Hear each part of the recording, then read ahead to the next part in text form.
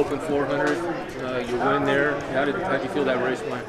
Um, I, I felt it went pretty well. Um, I got out good, got out good 80 meters and just chilled in into the backstretch. I wanted to um, kind of float around the um, curve and go hard like the last 120, and I felt I executed my plan real well. Um, just want to kind of you know work on like the ending of my race, like the last 50. Just you know keep marching, keep my hands moving, and uh, keep my head down. Just kind of some things me and my coach work on in practice.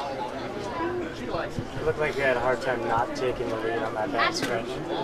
Yeah, um, I don't know. We had a long week of practice this week, and uh, with the races so close together, you know, uh, our muscles got kind of tight, and it was just you know a long day for us, you know. And I was disappointed with my effort on the 4x4. I felt that you know I wanted to come out a little better. I wanted to you know win win the meet for my team, and I felt I let my team down, but. Um, hopefully next week we're gonna bounce back and have a strong performance for me in the relay. Would you consider this uh, a lesson learned in how to race, you know, a top level 200 guy and, in a 400?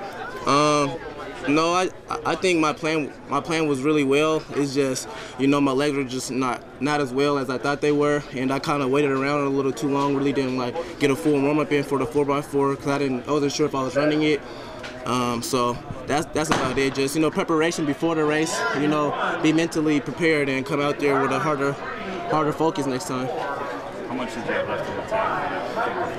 Um, I had a little bit before the 4x4. Uh, we I was throwing up a lot. Um, I had like a stomach problem this morning, so I was just you know trying to get through it. You know, trying to help my team out the best of the, to the best of my ability. Um, I wanted to come out with the win. You know, unfortunately I didn't, and you know it's kind of hard on me. But of course I'm gonna bounce back and have a stronger performance later on in the season.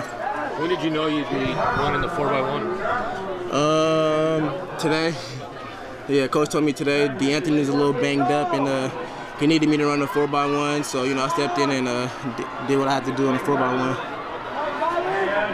That's sort of a tough uh, mental switch to suddenly be in that race and have to worry about the, the passing the baton and all that. Um, I did it last year too. Same thing happened at regionals. DeAnthony got injured like 10 minutes before the race, so I had to step in last year and kind of help him out and get to nationals.